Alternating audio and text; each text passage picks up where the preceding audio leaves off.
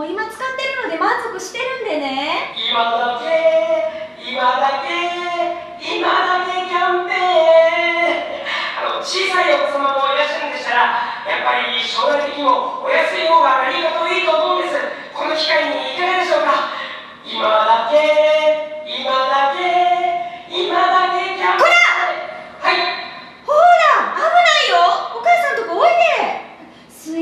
いませんもう以前に断ってますし今も忙しいので帰っていただけますか？あいやでも。もう56回来てません？うちの家。56回なんでそんな来るんですか？断ってるのに。触ったらダメ。なんでそればっか触りに行くの？こっちおいで。そうなんですか。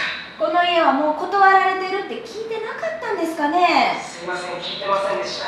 セールスって困るんですよね。タイミング悪いししつこいし。すいません子供寝かしつけようと一生懸命抱っこするでしょ？腕痛くてね。腰も限界。やっと寝たかなって。指先まで神経尖らせてベッドにそーっと置くでしょ？ああ寝たと思ったらピンポーンうわーうわー奥様もう何よあんた何もうあっちってあはいはいうんしつこいなあ失礼しますえもうこっち来んといてあはいあもう死ねはい死ね消えあ消えますはいろなんで出てくるんかなバルさん炊いたところやのにあキララちゃんダメキララちゃんポイしなさいほらそれ食べるもの違うよバンジーでしょバイキンいっぱいついてるよ、うん、はあもういやもうなんで来るんよそうですよねこの季節になるとね季節はいあったかくなってくるとねあったかくなるともう飛びついてきたりしますもんね飛びつくんですかそうです失礼ですよね本当にね嫌がらせみたいな職業ですもんね全くです押し付けがましいですしねそうですね早く帰ってください。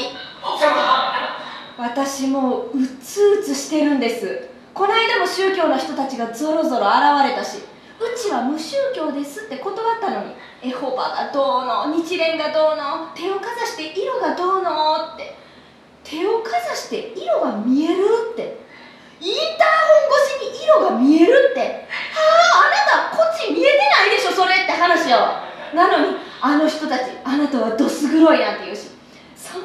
ないと思うんですけどって言い返したらその怪しい気持ち悪いなんかインチキ臭い感じの人たちが理由が知りたければお部屋にあげてくださいな。変な格好した気味悪い人たちそれから水のセールス飛騨山脈で採れた新鮮なお水いかがですかってよくあるでしょ大きいボトルを機械に逆さに突っ込んでこうペッて押したらお水が出てくるやつ飛騨山脈のお水美味しいですよ。水道水は美味しくないでしょお子様にはきれいなお水飲んでもらいたいでしょって。あなたのためにも子供のためにもって。はあ？全然そんなこと思ってないくせに。それも断ったんですけどね。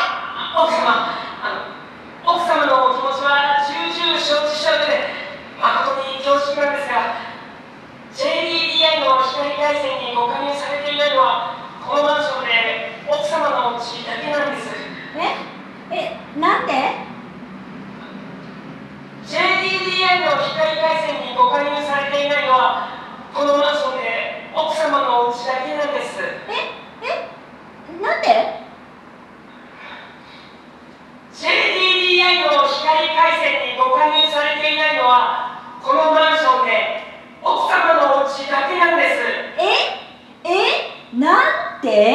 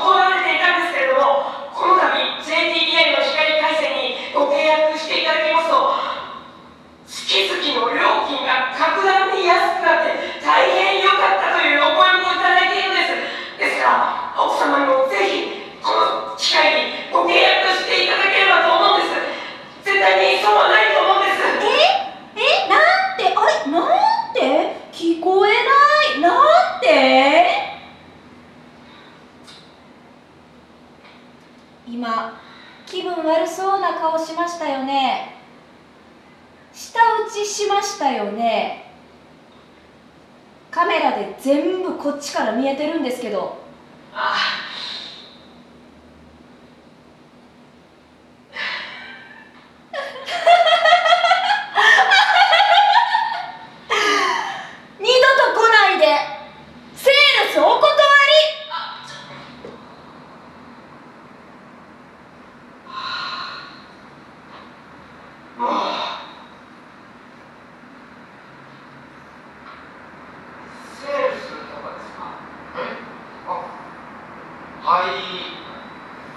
本さんセンスお断りみたいですよほら僕もさっき断られちゃってえー、そうなんですか。多分無理だと思いますよ。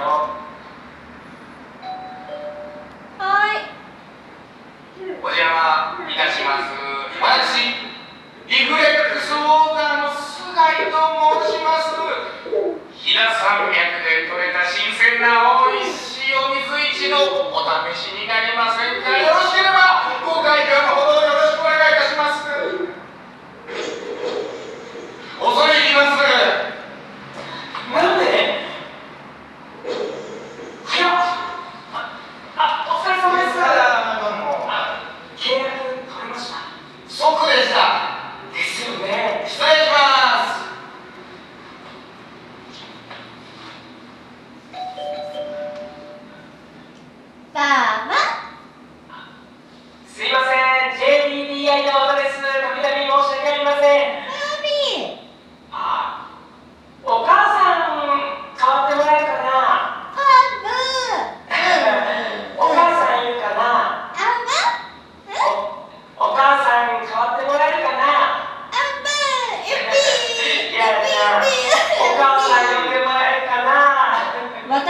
です。私です。奥様。早く帰って。奥様あの飛騨山脈で採れた美味しいお水は以前お断りされたんではなかったんでしょうか？聞いてたん？ええ。何してんのよ？奥様飛騨山